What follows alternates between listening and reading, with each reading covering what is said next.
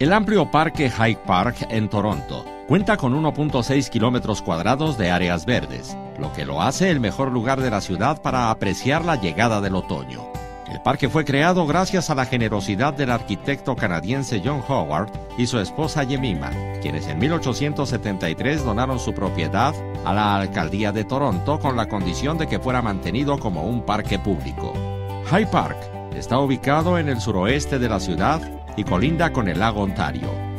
Con su variedad de árboles de gran follaje se puede apreciar el cambio de color de las hojas de maple de verde a marrón, naranja y amarillo, que al caer forman una amplia alfombra natural.